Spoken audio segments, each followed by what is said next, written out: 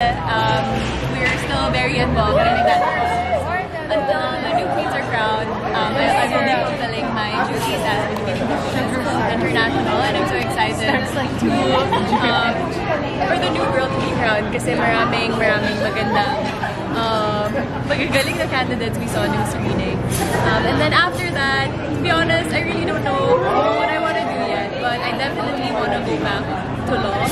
Um, but then I don't think I will be able to practice full time because my contract is still until December. So uh, right now, I'm exploring options like yung sa NGO ko, we do a little bit of pro bono work for the inmates and then I'm also, um, I also have a meeting soon with uh, a senator I really look up to na But like yung projects lang nila. Okay, like, uh, okay. like, like I'm looking to join the their legal team if they need help sa legislation nila. Or at least I can practice a little a little bit before my contract ends. Okay. And then as to I know showbiz, pageantry, uh, we'll see kasi I don't really see myself doing that for the long term. Kasi ingit na ingit na ako sa batchmates ko na nagpa-practice ng to. So yun na lang talaga yung hinihintay ko yung makapag-practice ko. But kung ano, eh, um, kung ano opportunities yung dumating, um, I'm not close off.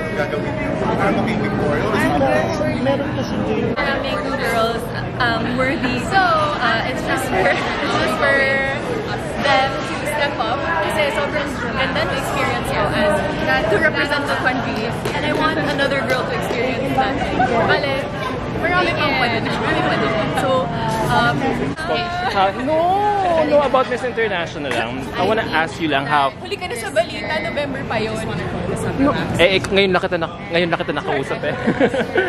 how do you feel na they increase their the the pageant has already increased the age limit of Miss International. Ah, the pageant has already increased its age limit. How do I feel? Well, well, I think it's I think it's fine. I think it's Uh-huh. fine. We're, it's the prerogative of the pageant, and if they feel that they wanna um, to increase the age, if they feel Ah, like, kasi 'di ba ano sa pageants 'di ba the younger you are, the the better kasi mas fresh. So, oh, do you hindi ba ganun na ngayon sa pageantry nowadays? I think we see naman a lot na with age comes experience and uh-huh. confidence. And if fresh naman yung itsura, bakit mo pipigilan? ka? Aha. Um, I don't think 28 is too old Too old, yeah. na sasabihin mo na hindi na siya prime niya. Yeah. So, and marami namang ibang pageants na 28 Aha. Uh-huh. ang um, ang um, Ang age limit. age limit. So, Okay. I I don't think it, it'll change Eh, much sa. It'll, Sa how they will look for a winner in a pageant.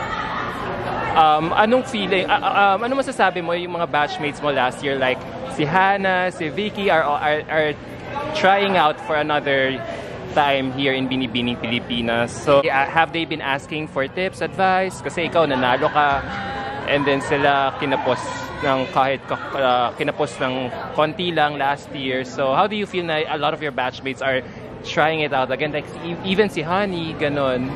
Ah, well, syempre, it feels weird. Mhm. It's weird na dati kasabayan na sila. Aha. And like you said, kina, um, kinapos, no? Aha. But for me kasi hindi ganun eh. Parang it's just my time, I guess. And next year, maybe it's their time and maybe kaya sila hindi nanalo this year kasi Aha. next year sila na and sila pa yung makakakuha ng crown. Di ba? Parang si Mia, Aha. pinagkain. So, medyo weird, but I'm very happy. I'm very excited for them. Medyo biased Aha. na uh-huh. ako kasi syempre mga kaibigan ko sila. So, um, Aha. I really want them to move forward. But at the same time, may mga bagong girls na crown worthy. Aha. So excited ka maging ate nila ngayon. Parang ikaw kasi you've been there in their situation before. So ngayon parang uh, ngayon parang ate ka na nila, parang kasi miss Grabe hindi naman yung ate. or parang sige mentor or yeah, para To be honest, parang feeling ko hindi ko pa deserve. aha. Last year lang eh. Last Aha. na year lang. Ang bilis no ng panahon. So, but, um, I know that I will be able to help the next girl. Kasi Aha. while I okay, next year, kung sino man, sasabihin ko. Let nung Aha. pagkakamali ko, nung Miss International, parang sinulat ko nga siya sa, sa paper. Aha. Sasabihin ko naman sa next girl na, okay, huwag mo gagawin to. Kunwari, may anecdote lang ako, yung gown ko, gusot na gusot na gusot.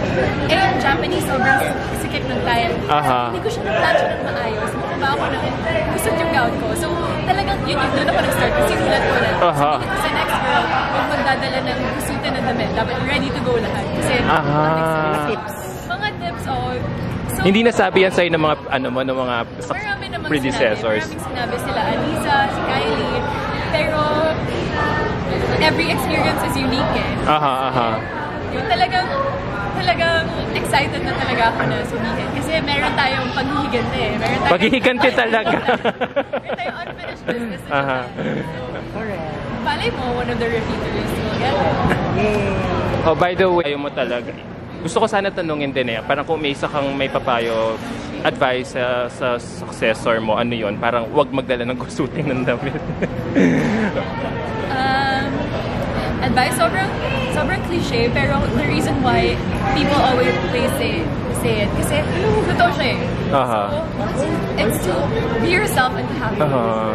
Kasi what I learned is kahit anong preparation mo, kahit anong galing mo, if it's your time, it's your time. Aha. So, the best way to maximize your experience, uh, y- syempre do your best, pero huwag mo nakalimutan na it's a once in a lifetime opportunity. And you're never gonna get to do it again. Aha. Alam mo, natutuwa ako sa'yo. You're a very good sport. Ang, sorry ngayon lang kita nakakausap pa kasi nakikita ko paano mo chinir yung eventual winner si Thailand. So parang, wala lang, nakakatuwa lang. Parang, ang bilis, ang parang, magaling ka lang magdala? Or, Oh, I guess, I guess alam ko kasi na hindi pa ako sumasali, alam ko na na oras mo, oras mo. Uy, Oo. Oras mo, kung Hindi, that doesn't mean hindi ikaw yung pinakamaganda, hindi ikaw yung pinakamatindi. It just means na hindi ka bet. And entitled naman sila na hindi ka bet. Diba? Kasi ang dami-dami nyo imposible na everyone Okay. will like you. Imposible na ikaw yung gusto ng lahat. So, talaga, best effort. Best effort. Best effort. Have fun. And kung sino manalo, sa kanya yun talaga. And syempre si Thailand kasi friend ko siya Okay. competition. So, mas lalong, mas lalong ko masaya. Last question, message to all your fans and supporters na talagang nagmamahal sa'yo. Talagang, alam mo yon hindi pa makamove on sa mga sa resulta noon, tapos nag-aabang sa mga future plans mo. Uh, thank you. Maraming maraming salamat sa pagsuporta sa akin. Ever since nung Binibining Pilipinas pa. Tapos yung iba, ever since nag-aaral pa lang ako, hindi pa ako sumasali. So, Oo. susuportahan na ako. Maraming maraming salamat na nagsawa na supportahan ako kahit hindi natin na po yung crowd. Kahit hindi natin na po yung crowd. Pa rin kayo. Thank you. So sana kung may future endeavors, ako, supportahan niyo pa rin ako. Yes. Um, but don't forget to support also the new girls. Yes. Kasi, um, ganun naman yun. Yeah.